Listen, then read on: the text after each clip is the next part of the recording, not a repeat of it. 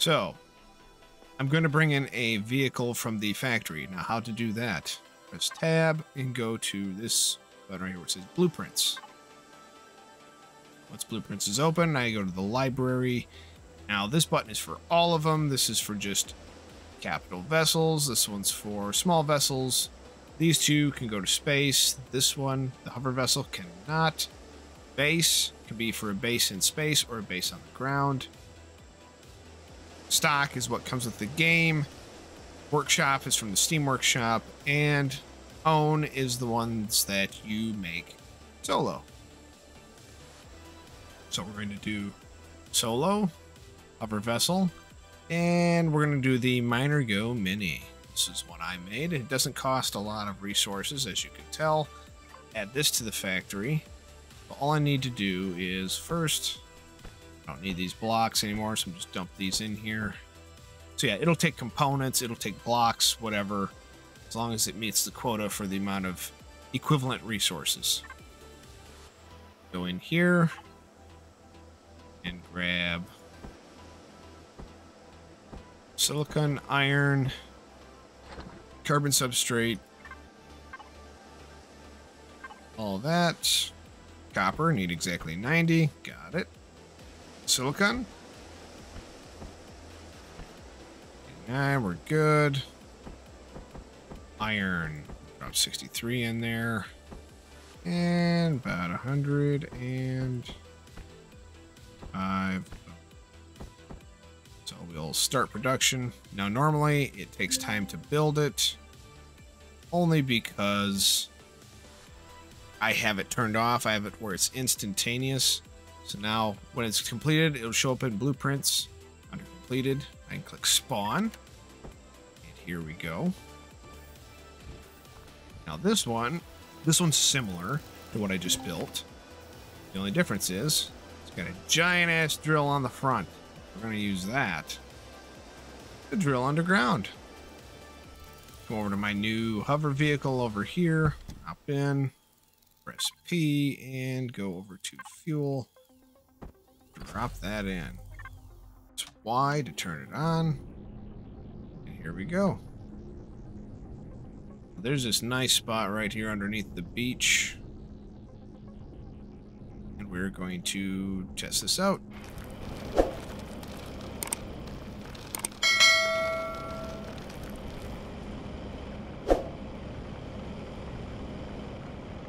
Now I have encumbrance turned off. Having too much resources. Because I don't have enough container extensions on this particular model.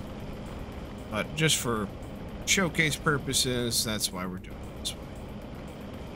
And remember, rock is always good. Reason is, you can use rock to make any of your basic resources. Alright, now that we're this far, the next thing I'm going to do is go into space, learn navigation, and I'll show you where to get the quickest jump drive and Pentaxid tank for your small vessel. Well, we're going to pick a small vessel ship to quickly build, probably one of the cheapest ones we got. So we're going to go up here to blueprints, We're going to go to small vessel. We're going to go to stock, which comes with the game. And the one we are going to pick is one of the cheaper ones. The Cobalt Moon. Okay, so. Got our iron in there.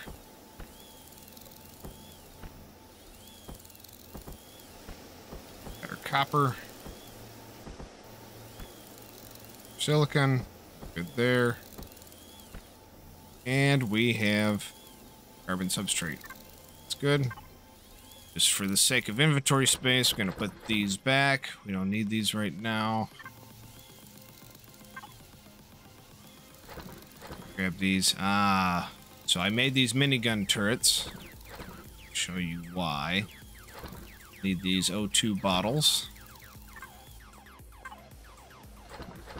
these back.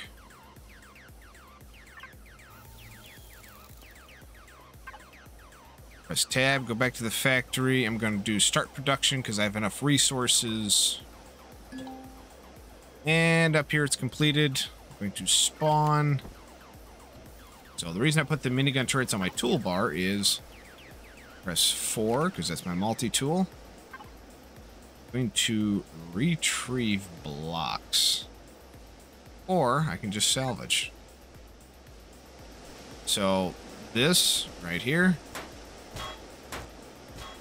Don't need that. And I don't need this wing either. It's just decoration. I don't want it. What I want to do is put minigun turrets on the side. Boom. One on that side and one on this side. Now, before we head out on our mission, there's one thing that we want. So under devices, you want to make a couple cores. I usually do about three. Uh, because in order to retrieve blocks and looted items, you need to have a core down to do it. And there's a reason for this. And once we get to space, I'll reveal that reason for you. This is going to make things so much easier for you traversing the cosmos. Alright, we're going to get into the small vessel. Going to power on, turn the lights on. I'm going to go over here to oxygen. Manage. Take these O2 bottles, drop it in there. Boom. Three of them filled it up to 94%. Back. Turn on oxygen. It's going to pull from this. So it's basically filling the cabin where I'm sitting in the pilot seat with oxygen. Next, I'm going to devices, back to the container controller for ammo, and I'm going to put this extra ammunition in here. Now we are good to go to space. So, as you could tell, over here in Maine, it shows shield. We don't have shields yet. That's that's something you can make later and add on. Uh, we won't be getting to that. I'm just going to take you guys to the point of warping out of the system and navigation. So, press the spacebar to lift up. You use your mouse to look around. Uh, Q and E on the keyboard. Tilt your vehicle left and right. W is forward. S is backwards. A is strafe left. E is strafe right. Alright, so now we are going to go... See, that's Masperon. Uh, but as you can see, we have up in the upper left of this flight panel, we got orbit and ground. Shows how high up we are and how close we are to orbit, how close we are to the ground. Over on the right-hand side, you'll see speed and max. So in atmosphere, your max speed is 70 meters per second. So we are going to do upwards. If you press V, you can see third person view. And here we go. We are now into space. As you can see, unlike Starfield, you you can go from the ground to space without a load screen. If you press uh, left Alt, you can look completely all the way around your ship. 80. Press V to go back to the cockpit look. So over here is Ningues. This is the snow planet. Uh, this is Akua. This is more of like the Earth type planet. Over here is Skillon. This is the basically the nuclear fallout desert planet very radioactive. And then you got Masperon, which is a toxic planet. Each one has different resources. If you press M on the keyboard, it'll bring up your uh, map, and you can then go to System. Over here, this is the system you're in. So you're in the Elion system. There's the planet Sienna, Omicron, Ubion, Simos. These two have moons. This is Crown. We're in Crown right now. They have these four planets here. And then you have an asteroid field. You can travel to all these. Now, if I press info panel over here to the side, it'll bring up all this. Tells you your distance from all the sectors in here. Uh, oh, up here, next to this Jupiter ring-looking planet, you can click this. And it tells you what resources you can expect to find. So here, you're expected to find ice in this system. Over here, it's ice, promethium, which is a fuel source. Here, the asteroids you'll find floating around will be cobalt, copper, silicon, iron, promethium, and ice. So in the asteroid field, you'll get a little bit more different resources. Magnesium, which can be used to make explosive rounds. Promethium, silicon, copper, iron, your basics. Cobalt, neodymium, and titanium, along with ice. So we'll want to visit that when we can warp to it.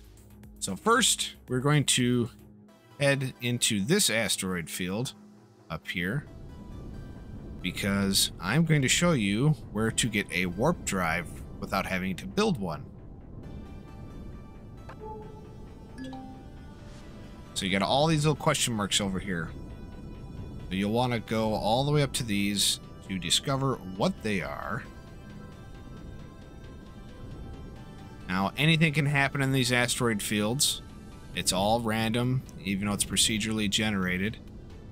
You never know what type of encounter you may run into. You may run into uh, drones that come and attack you. Uh, Empire may attack you. Pirates may attack you. Alright, so while we are flying into this asteroid field, if you're holding down W and you press left control, you notice on the right hand side there's a little bar that goes all the way up to the 100% mark. That's cruise control. So you can do other things while you're flying, and it's very handy. Now, if you want to turn it off, just hold down W, and it turns off. So attention, unknown signatures detected. So we are about to experience a little bit of combat here. Which reminds me, we may want to go over to devices and under bridge, I'm going to access this and move your meat burgers over so they don't go bad in your be bad. That's our that's our food. So here we are going to use our detector.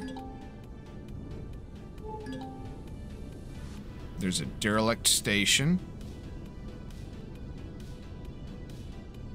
Ooh, and there's a destroyed transport. So there's a derelict station here. Now, in this station, there is actually a teleporter that'll take you right to another planet. Omicron, which is our ultimate objective, so you can either teleport or you can do it a different way. So there's a drone. Let's see, it's coming at us. It's a laser drone. It's already taken out. Thanks to my handy dandy mini guns, I didn't have to shoot at it. So, if you're not paying attention, miniguns will pay attention for you. So while you're in space, you can just press F to get out see you can float around. Your ship's not going to go anywhere. These usually drop some loot, so you can press F to access it. Fuel packs. Those are nice to have. Nanotubes and capacitor devices. It's some good resources there to build certain items. Get back in your ship. So now we're going to detect and go towards that transport right here. This destroyed transport. This was my objective. As you can see, this transport, I mean, if you brought a bunch of resources with you, I'm sure you could, like, limp it back to base on Akua and fix it up. But for our purposes, we are going to do something else. Hop out. And we're going to press tab and I'm going to swap out this anti-radiation stuff for my core. I'm going to put a core on here. As you can see, if it's red, it means there's already an existing core. So what you need to do, launch your gun, go find the core,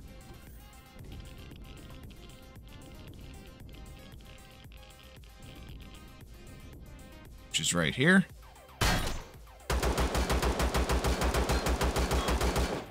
And finish it off the sniper rifle. And now, we put our core on it. So what this does, allows us to access anything on here. So here we go. We're going to go to our multi-tool, and we're not going to do salvage. We're going to go retrieve. Retrieve blocks. Hold this. There we go, short range warp drive. So we press tab, boom, there it is. But you can't do anything with just that. You need this, this Pentaxid tank.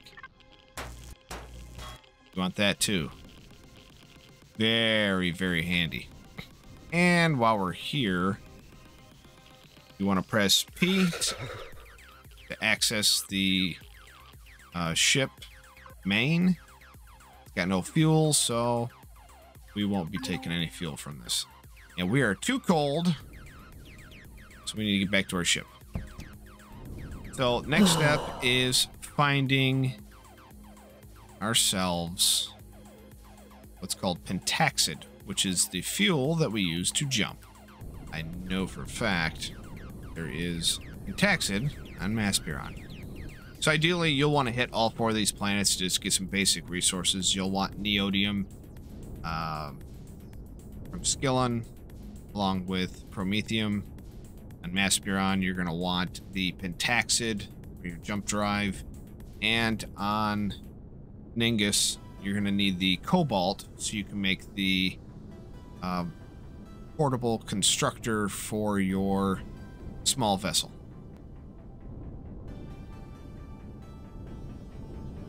And here we go. We're going to Masperon. Alright. Now, we are only here to find Pentaxid, and then we're going to get the that out of here. Grab some Cobalt from Ningues. There's Pentaxid. So, chances are you'll find Pentaxid, show you on the map, near an enemy stronghold, because it's a rare resource that's used for space travel. You'll always find these guys near it. So, that being said, it's only a small amount, but that's okay. So we are going to land here and mine some of it.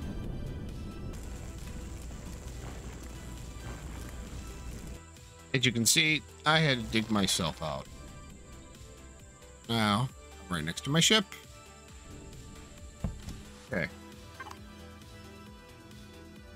We got our Pentaxid. We have no other reason to be here on this planet. We are gone. All right. We're going to do a fly over to Ningues, grab our cobalt. All right, we got some resources down here. Let's figure out what these are. This might be cobalt in a mountain. Yep, here's some cobalt. Small amount, but that's okay. Now remember, it's very cold here, so you can freeze to death. Whatever you do, you want to make it quick, unless you have an EVA booster made.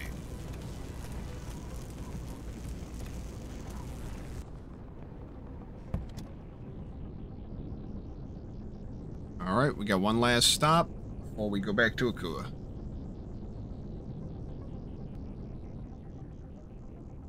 And here we are on Skillon.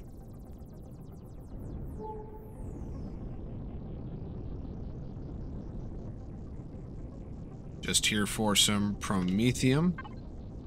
See, there's three nodes of promethium. We just need to find one, one node of promethium, get some of that, and go. Be used for our power source.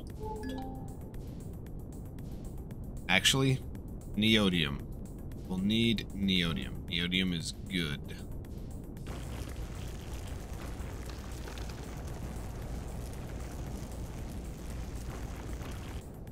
Alright, got our neodymium. Okay, so if you come across these refuse pile, there's some decent stuff that you might be able to find in here. Components, so go ahead and stop and grab those.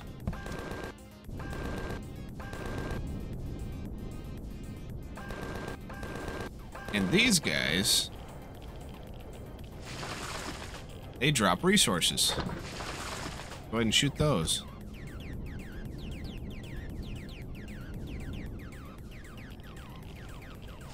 So instead of food, you get resources. Why not?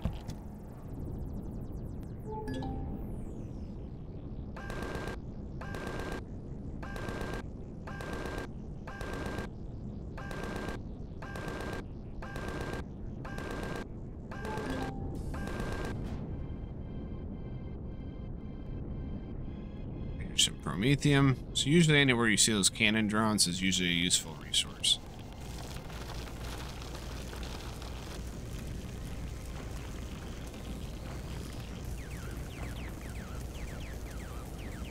So the shitty part about some of the, pro the Promethium small deposits is it's going to be one little tiny ass, or, or a couple of these tiny asteroids here.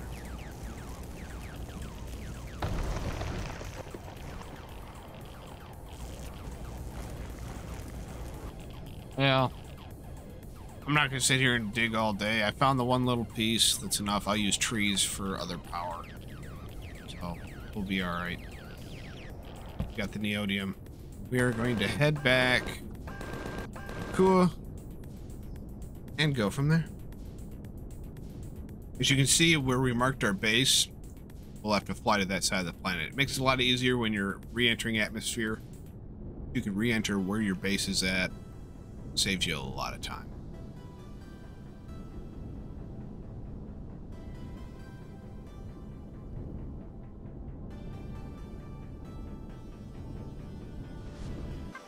Alright, so our base here looks to still have some power. Next thing we're going to do is put all these resources in here.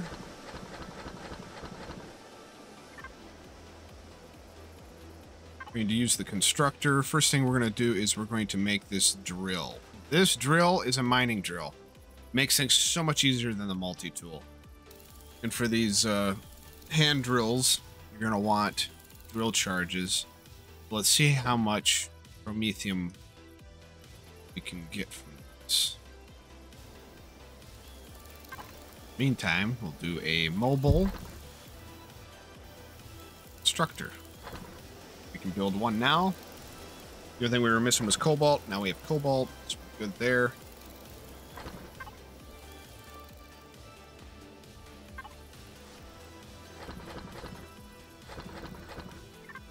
All right.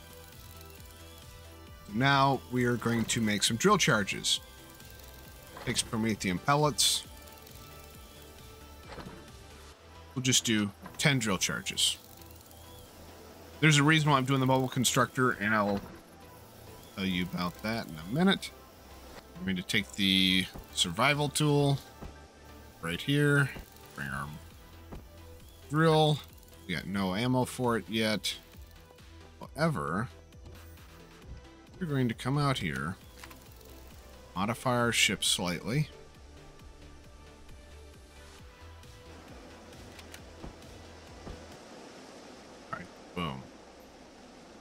Got a Pentaxid tank on there. I mean, this is not going to look pretty, but it's it's going to function. So we're going to wait to put the warp drive on until we get to space. Essentially, I'm going to put it underneath here. Next thing we're going to do is we are going to need refined pentaxid to turn the promethium pellets to fuel packs. So while that is going, put this mobile constructor on.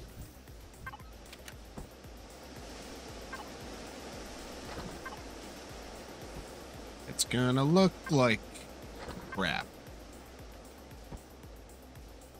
but it's to function. So the purpose of this mobile constructor is I'm going to need you're to need cargo containers. So make sure to make some.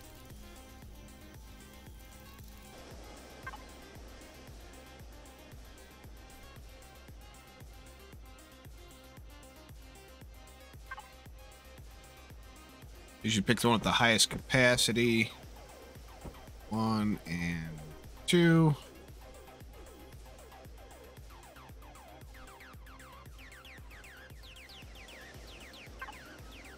Go devices, I'm going to re-auto group these. Change this to input. Change this to output.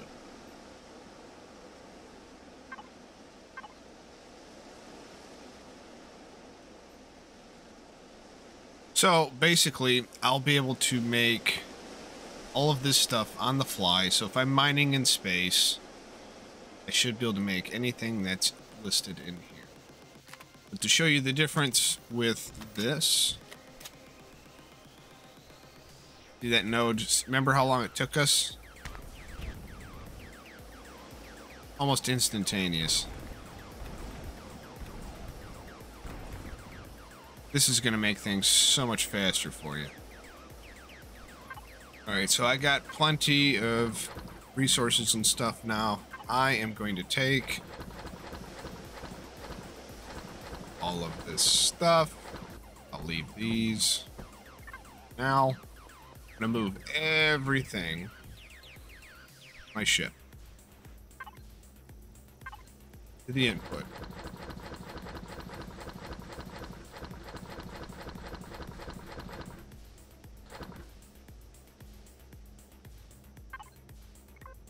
Add it. That protects a tank. We're filling that up. Fuel. Up with fuel. Alright, we're going to put all of our food and medicine in the fridge in our ship. And say goodbye for now to this planet.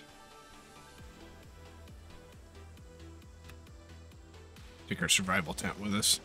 Because uh, we do have a cloning chamber here. So. Something happens. This is definitely the base to uh, come back to. Being said, turn the power off. Nothing special we're leaving behind. Thrusters. Turret. And away we go. Ready for this? I'm ready for this. Bye, Akua, for one last time for a moment. And uh, this looks really...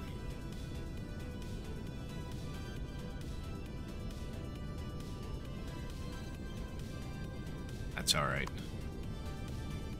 It's allowed to look ghetto. This is just a temporary ship. So, once we come to a stop, hop out. Bring that warp drive down.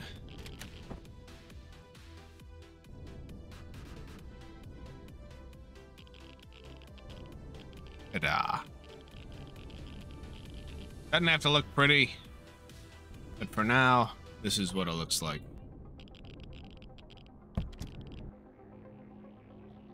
And now, ladies and gents, boys and girls, everyone, this is the moment we've been waiting for. Press M. We are not going to just go to the systems map. We're going to go to the galaxy map. Now, when you jump with a warp drive on a capital ship, these are all the systems you can jump to. And when I tell you it's infinite, it is infinite. There's so many that you can jump to. And each one has planets and stuff. That being said, we are going to jump to Omicron. Lock the target. There it is. All you got to do is fly towards it. Get to full speed up there in that corner. And press K.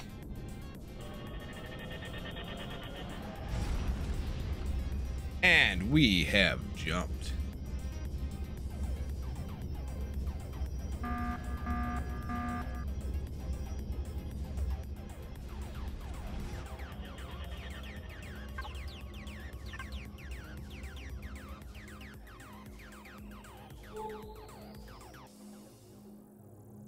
Omicron Control Station. Here we go.